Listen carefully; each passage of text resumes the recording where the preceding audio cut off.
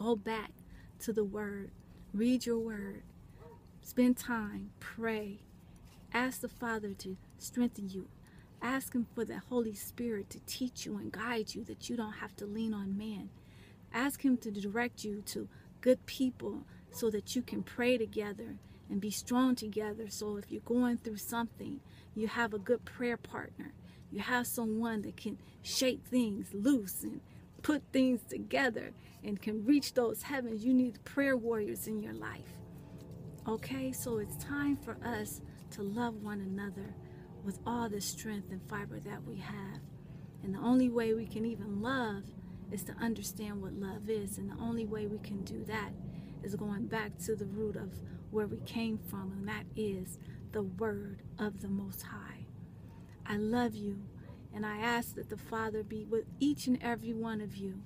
And this week, that as you read every word, every seed that you plant in your own garden, I ask that the great harvest will come the harvest of salvation, the harvest of love, the harvest of wisdom, the harvest of prosperity, the harvest of the power and spirit of the Most High to walk with you everywhere that you go.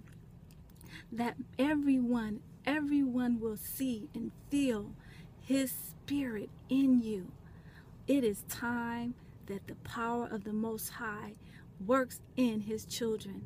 It is time for Yeshua's his spirit as he was on this earth shall be the spirit of you on this earth. You should be healing and touching people and praying and loving people and going everywhere you can. Father, where you want me to go?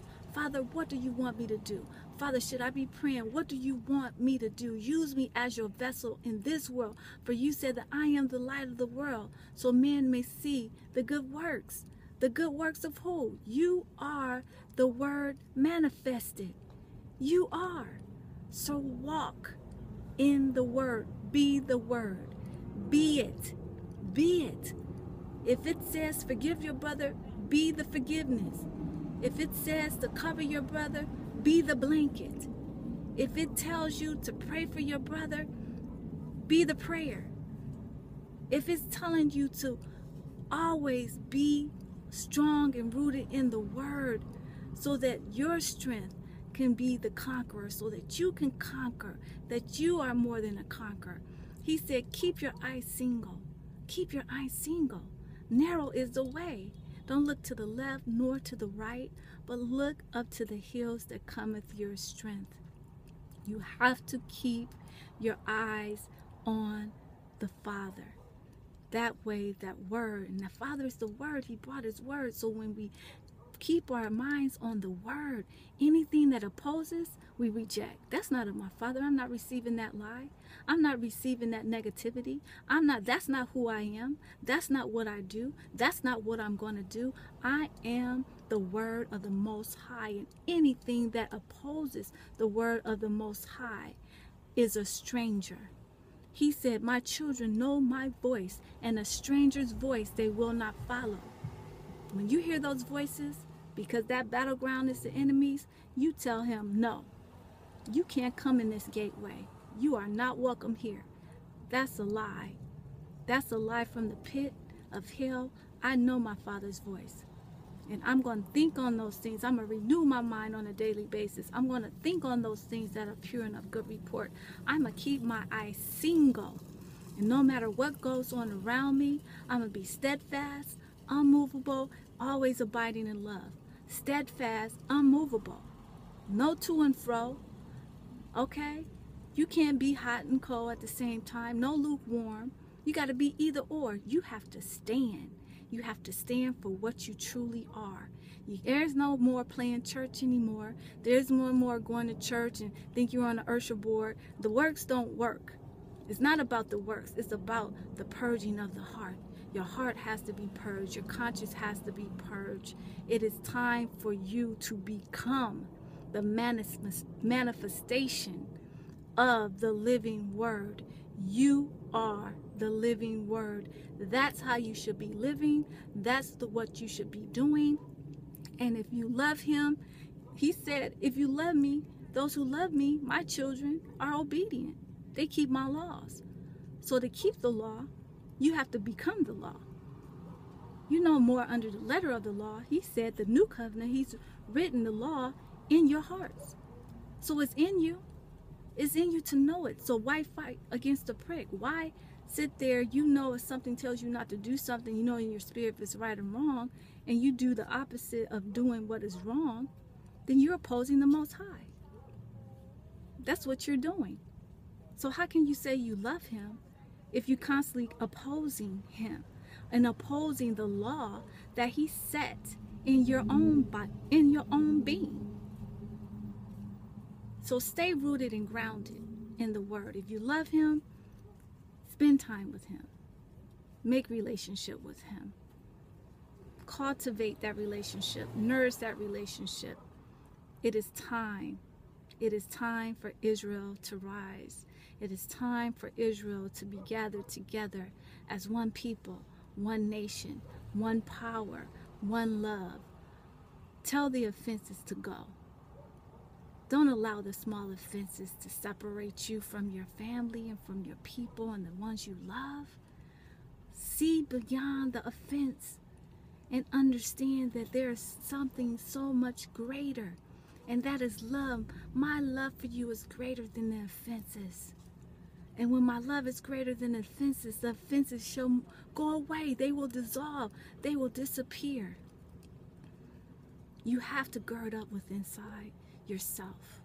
You have to spend time with your Father to get that strength. And when you get that strength, you will have a peace. He said, The joy of the Lord is my strength. That joy, that peace, that no matter what goes on around you, you have the joy and the peace of the Most High in you. That's greatness. So live in your greatness. Live in your greatness and make sure that you hold on to and become that word, rooted and grounded within every fiber and cell of your being, and that wherever you go and whatever you do, you are that word in manifestation. I bless you with the love of the Most High, and I pray for your week this that you will be blessed and anything that comes your way, that you will take the word with you. And no weapon formed against you shall prosper because you're soldiered up in the word and anything that opposes the word. You speak that word just like Christ did when he was being attacked by the enemy himself. He spoke the word. He spoke the word, he spoke the word until the enemy fled. Speak that word. That's your sword.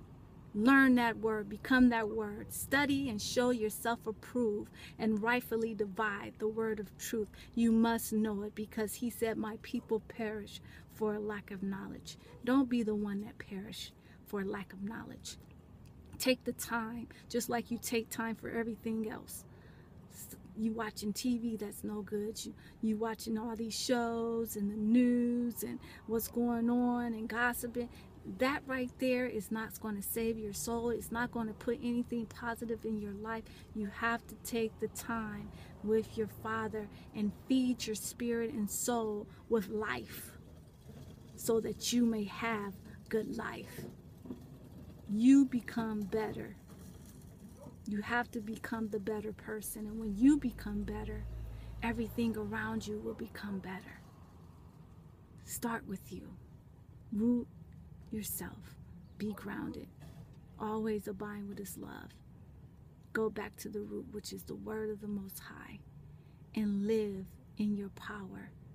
Soldier up, gird up, for the Most High loves you, and He's there waiting for His children to do the will.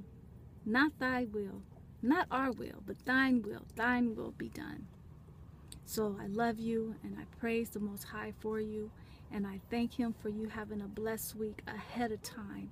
And if anything happens that you do not expect, ask the Father, what is it that you want me to know? Whatever challenge it is, Father, what is you want me to know? What is it, where is it that you want me to grow? Because what I do know, that nothing can be in my way and happen around me unless you give it the right. So if he gives it